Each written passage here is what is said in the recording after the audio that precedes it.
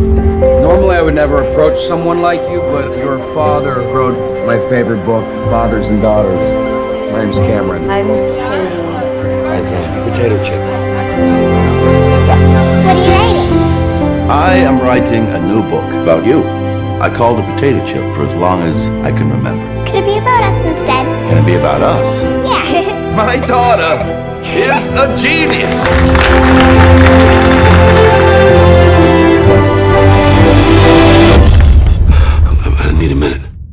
Those seizures are the sign of something serious. You need treatment, I can't do that. I have a, I have a daughter to raise. and that's exactly why you need to. You're gonna go and stay with Aunt Elizabeth and Uncle William. Back as soon as you can. I love you, Katie. Please, Joy. You're sick, Jake. Daddy? You spent a year in the hospital. Your last book tanked. We live in the United States of money. I'm doing the best I can. We'd like to adopt Katie. Katie is my daughter. I don't love. You have loved. A long time ago, once. Am I gonna meet a prince one day? You will one day. Katie, stop. I don't know how to do this. Do what? Be the girlfriend.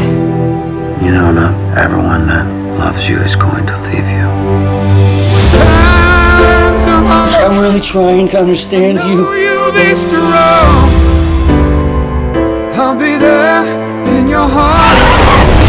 the best thing that ever happened to me.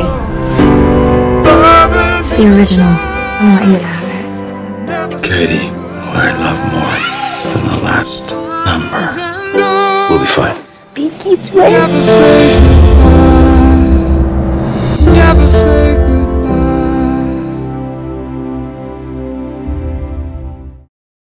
Hi, I'm Valerie. So you think you know movies?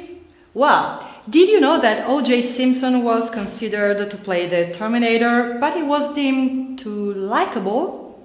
hmm Now, remember that toilet scene from Trainspotting? Well, the toilet was actually filled with chocolate. Yes.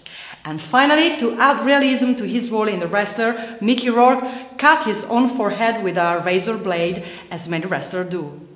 Now, that's method acting at its finest. Subscribe to keep up to date on all the latest releases and movie news. Bye.